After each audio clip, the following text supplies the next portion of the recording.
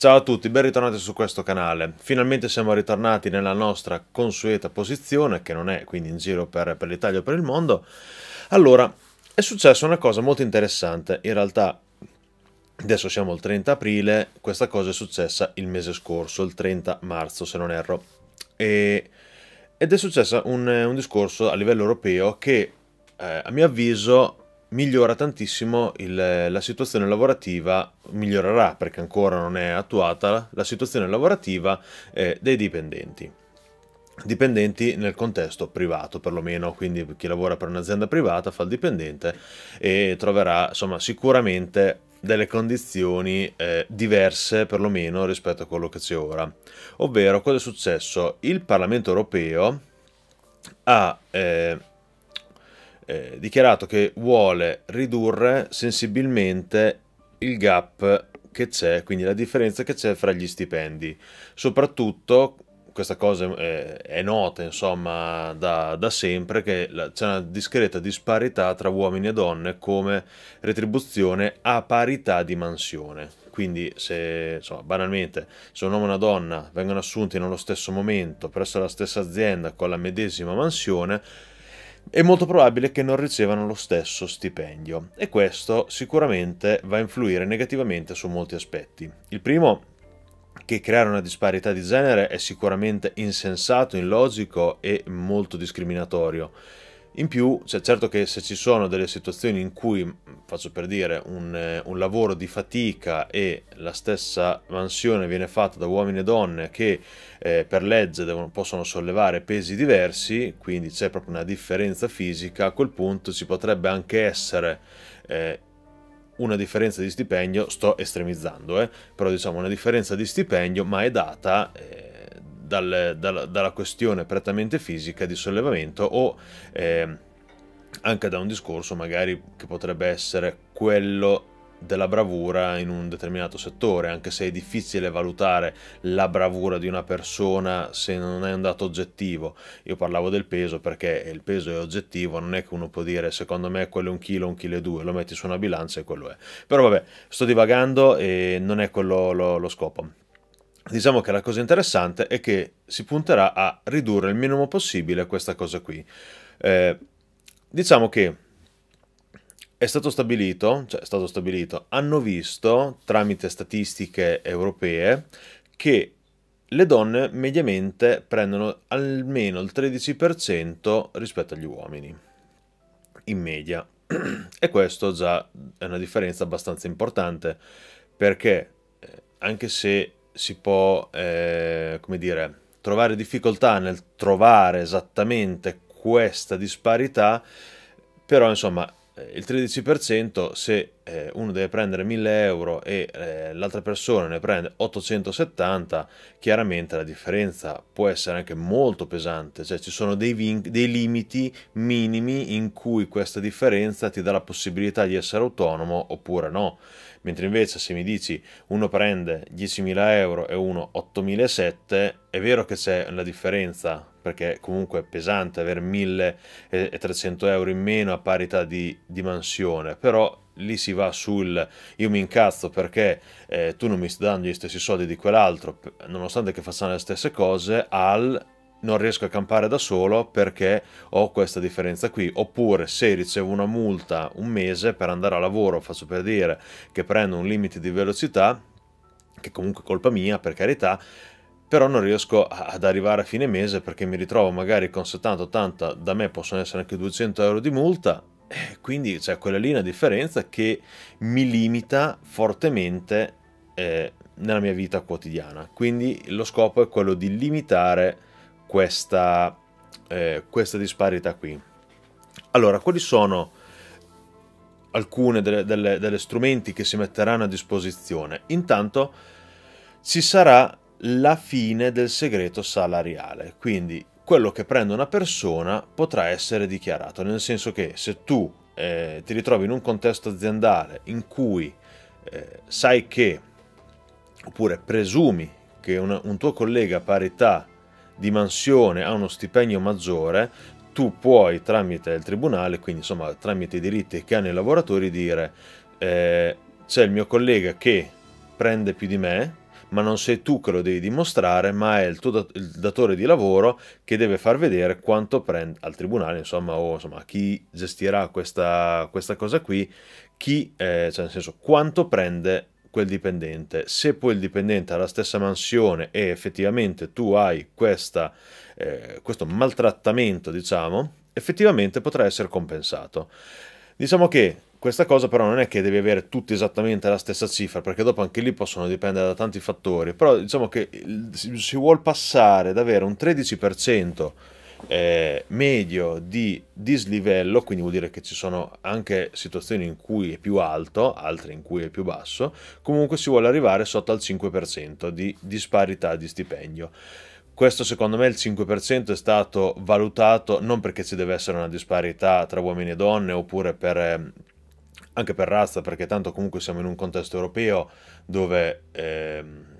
tra il Nord Africa e l'Islanda, voglio dire, abbiamo un contesto anche anche razziale che sicuramente è presente e quindi anche lì sicuramente ci sarà qualche problema da questo punto di vista. Però diciamo che il contesto è che si deve avere un'uniformità il più possibile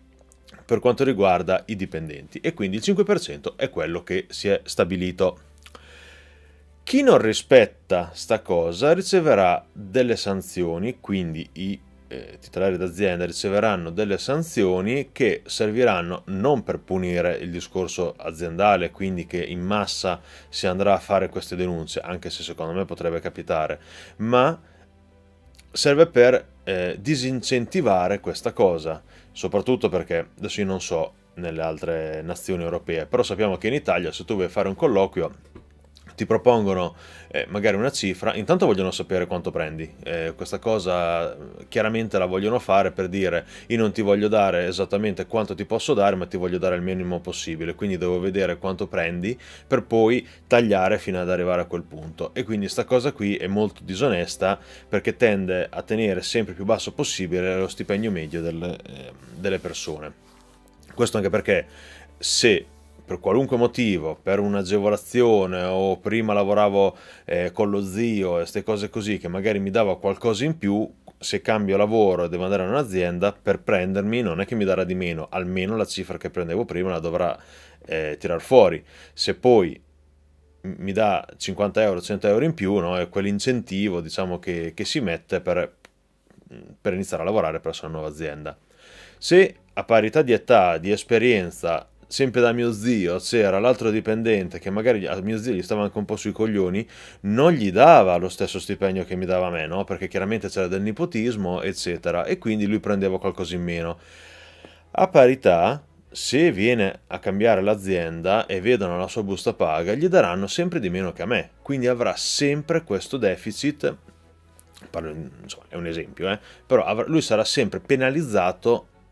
eh, salvo che non ci siano delle situazioni che lo aiutano a migliorare la, la sua condizione lavorativa. Però insomma, quindi per limitare questo aspetto ci sono uno, vabbè, quello che dicevo prima, intanto il segreto salariale non esisterà più, quindi se un dipendente si trova in difficoltà, eccetera, pensa di essere mh, sottopagato, può fare richiesta e verrà eh, evidenziato il fatto che un, un, suo collega a parità di, di, livello eccetera prende di più e quindi dopo dovrà avere un compenso del, dello stipendio. Seconda cosa, invece, verrà esposto, cioè sarà obbligatorio esporre il RAL negli annunzi di lavoro perlomeno un RAL minimo e un RAL massimo. Poi anche lì adesso ancora non è stato ben stabilito quali sono la, la regolamentazione per, per, questa cosa. Quindi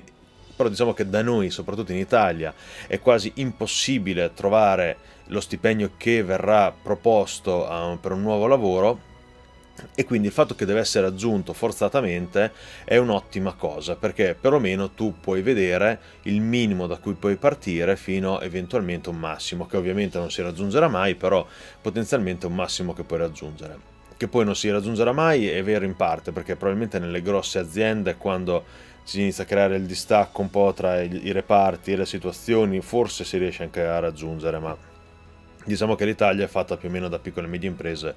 quindi questa cosa non lo so, io non ci credo tantissimo. Però comunque intanto l'obiettivo perlomeno viene posto e questo sicuramente potrà dare un valore aggiunto al, al potere eh, diciamo, che ha il dipendente nei confronti di... Eh, non dico proprio il datore di lavoro, perché magari in un'azienda di 3, 4, 500, 1000, 2000 persone, ovviamente il proprietario non ti conosce, non lo sa chi sei, qual è la tua situazione, magari c'è un, un dirigente, un'altra cosa che ti sta trattando male, quindi cioè, diventerà una roba di, di questo tipo. Quindi, per quanto sia, eh, insomma, perlomeno qualcosa si muove. Il fatto del RAL poi ancora non è stato stabilito, ma secondo me verranno messi dei limiti, perché ovviamente uno potrebbe anche dire, vabbè, metto il RAL, allora parto con, non so, 8.000 fino a 500.000, è facile, cioè ho preso una gamma che tanto meno di 8.000 come faccio a darti è impossibile, quindi è proprio una presa in giro, e 500.000 non li prende neanche il proprietario dell'azienda, quindi c'è un'altra cifra che non ha senso. E anche lì, quindi io presumo ci saranno, insomma, delle eh, come dire, delle um, regolamentazioni che metteranno eh, dei limiti che abbiano un senso, quindi soprattutto il RAL minimo non può essere cioè, minimo nel senso zero, perché uno magari va a fare il, il tirocinio gratuito e più magari che devi pagare te qualcosa perché altrimenti non ti prendono neanche per quello. Quindi cioè, diventerà una, una cosa dove tu sai che quando cerchi una mansione nella tua zona o anche fuori, puoi cercare, fare delle ricerche eh, su tipologie di azienda o tipologie di lavoro e vedi quanto, prend- quanto pre- potresti prendere minimo eh, nei, nei, vari annunzi di lavoro. E di conseguenza se ci sono degli annunzi che sono completamente sballati come, come RAL puoi anche dire questi o hanno sbagliato quindi magari puoi perdere tempo per chiedere se, se c'è un errore nelle, nella descrizione del RAL, oppure semplicemente eviti anche di perdere tempo, fai perdere tempo anche, eviti anche di far perdere tempo all'azienda, eh, andando lì a chiedere insomma, di fare un colloquio che poi non accetterai mai. Quindi queste sono eh, diciamo, le, le, cose che verranno introdotte eh, anche in Italia, insomma, che sono state dichiarate dal Parlamento europeo. La cosa che è da prendere in considerazione è che ci vogliono tre anni o meglio, diciamo, gli stati avranno tre anni di tempo per adeguarsi a questo cambio. Probabilmente perché siamo una valanga di stati che hanno storie diverse, contesti diversi e tutta una serie di problematiche, non problematiche, però situazioni diverse. Comunque dobbiamo metterci atto che noi siamo diversi tra stati, abbiamo eh, stati più ricchi e stati più poveri e a volte questi gap sono veramente importanti e situazioni economiche molto diverse, quindi hanno, avranno considerato tre anni perché in tre anni adesso le cose cambieranno molto, c'è stata la crisi e tutto quanto, quindi dare il tempo alle aziende anche di eh, ritrovare magari un po' di, di serenità eh, da un punto di vista di mh, situazioni economiche che adesso sono molto difficili e poi anche per adattarsi a questo nuovo stile eh, di, di, annunzi che probabilmente come in Italia molti non sono abituati a utilizzare. Certo che se vai tipo in Germania o penso anche in Francia sta cosa già si utilizzava tantissimo, quindi per loro la differenza più di tanto non si trova, ma da noi sicuramente si troverà. Questa cosa io mi aspetto, anzi mi auguro, che farà cadere le braccia a tutti quegli animali che danno da lavorare eh, facendo fare dei lavori sottopagati in maniera estrema. Perché se tu fai un annuncio dove tu mi metti un certo RAL, no? perché per leggerlo devi mettere quel minimo, altrimenti vuol dire che stai sottopagando il dipendente. Vengo a lavorare e mi dai eh, la cosa dei 500 euro al mese, no? che non è descritta nel RAL, a quel punto il dipendente, dal momento che ha l'annuncio e ha la busta paga, potrà fare richiesta di integrazione dello stipendio. Quindi non puoi più fare il furbo, mi auguro eh, che sarà così, non puoi più fare il furbo nel senso che fai degli annunzi dove non metti niente, fai a, a parole così, dici ma sì dai vedremo, faremo, e ti ritrovi ad avere un dipendente che viene sottopagato perché tu hai un'attività che non si può permettere un dipendente. Oppure, peggio ancora, sei proprio... Eh, eh, sei proprio crudele a questo punto da un punto di vista economico e eh, non vuoi pagare una persona tanto quanto si meriterebbe e quindi che gli impedisci di, poi di avere una, una vita serena e tutto quanto quello che ne consegue. Di conseguenza io mi aspetto che questo eh, questo cambio di, di, paradigma, insomma, per quanto riguarda la, la, ricerca di lavoro, possa creare delle situazioni in cui le aziende meritevoli avranno più, più persone che cercheranno di essere coinvolte nella, eh, nella selezione del personale, in modo che possano prendere anche, insomma, siccome possono pagare di più, anche persone di qualità più alta le aziende più piccole dovranno fare i conti anche con questo aspetto, come già fanno tantissime altre, in tantissime altre nazioni, e quindi eh, dovranno strutturare il loro lavoro eh, per quello che è. Oppure dovranno mettersi eh, in moto per riuscire a gestire il meglio possibile le persone che hanno. Quindi le risorse umane, dovranno fare dei lavori migliori rispetto a quello che stanno facendo adesso, perché io per tutte le esperienze che ho avuto in azienda e anche su LinkedIn per dire che mi contattano ogni tanto per fare dei colloqui, perché facendo il tecnico trasfertista è una figura che per fortuna è un po' ricercata e quindi ogni tanto ci sono dei... Eh, delle aziende che ricercano personale che mi contattano per fare dei colloqui. E ogni tanto li faccio per vedere anche che cosa cercano, cosa fanno, però è gente, cioè quest- chi sta lì alle risorse umane probabilmente non lo sanno anche chi gli sta sopra, ma fanno dei colloqui, cioè che sarebbe da chiudere il telefono alla pari di quando ti chiama il call center della, della um, compagnia telefonica di turno che però è la voce registrata, cioè non serve assolutamente niente fare quei colloqui, per loro passano il tempo chiedendoti parlami della tua vita, no? Quindi eh, anche con le video call, perché tanto si fanno anche quelle, stai lì, no? Queste persone stanno sedute, si prendono gli appunti nel loro taccuino invisibile o nel taccuino vero, però insomma mm, ti fanno le domande che ci sono scritte sul curriculum, come se, cioè, visto che quello l'hai visto, vammi già un po' più nello specifico, cioè se sono un cialtrone che ti ho scritto delle cose che non hanno senso, mi inforchi subito, eh, altrimenti è inutile che ti sto a ripetere sempre la stessa cosa, poi facciamo un'altra call, facciamo un'altra chiamata, facciamo un'altra roba, per poi arrivare a 27 colloqui prima di dire adesso ci risentiamo e poi non ti chiamano più. Quindi probabilmente anche questo aspetto qui eh, farà prendere delle belle bastonate agli incapaci che si ritrovano nelle risorse umane. E io vi posso garantire che non sono per niente, per niente sensibile con le persone delle risorse umane, ma non perché il lavoro che fanno all'interno dell'azienda per me non è ehm, ho qualcosa contro quella tipologia di lavoro. Io ho proprio eh, avuto solo esperienze estremamente negative con chi tratta le risorse umane. E quindi mi viene da pensare che sia proprio la tipologia di lavoro e la tipologia di persone che ricade in quel lavoro che eh, secondo me non, non, fa ness- non, fa del bene alle aziende. Questo è, purtroppo è un mio eh, è una mia esperienza che mi porto dentro e che comunque dico e la dico perché purtroppo è così. Quindi non, non, faccio nomi per carità, però il discorso delle risorse umane mi ha sempre lasciato molto molto basito eh, su eh, quale sia il loro scopo. Ecco. Comunque, a parte questo, diciamo che ci sarà questo cambiamento da qui a tre anni sono molto contento di questo, anche perché creerà sicuramente del movimento per quanto riguarda il lavoro da dipendente e se siamo fortunati,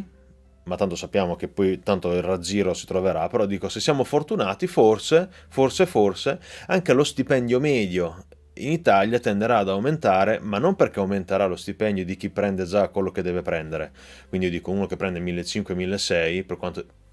purché eh, insomma, cioè, si può dire che dici non ci campo, non mi compro la villa, eccetera, però intanto hai quella cifra lì. C'è quello che ne prende 800 facendo la sua stessa mansione, che poi fortunatamente dopo prenderà quanto te, e quindi vuol dire che lo stipendio medio italiano tenderà forzatamente un po' ad aumentare. Le aziende che fanno le furbine tenderanno a non prendere più persone da sfruttare, quindi questo creerà eh, da un lato sicuramente un problema perché le aziende non prenderanno più personale, dall'altro inizierà a eliminare quelle aziende che hanno un'attività che non funziona, che però vogliono comunque portare avanti, vogliono persone, eccetera, anche se non se le possono permettere, convincerà le aziende con capacità a smetterla di fare le furbe sfruttando il fatto che prima lavoravano per l'altro che non gli dava abbastanza e quindi sfruttavano quel fatto lì per dargli 100 euro in più e comunque sottopagare rispetto ad altre persone. Quindi insomma io mi aspetto che ci sarà del movimento, un, un discreto movimento da questo punto di vista che insomma, potrebbe fare delle cose interessanti. Non penso farà peggio di come adesso, perlomeno. Oh, insomma, diciamo che a pensare bene, eh, non lo so, non si sbaglia mai, anche se non è questo il detto. Comunque, questo è quanto, dai. Io vi saluto e ci vediamo al prossimo video. Ciao a tutti.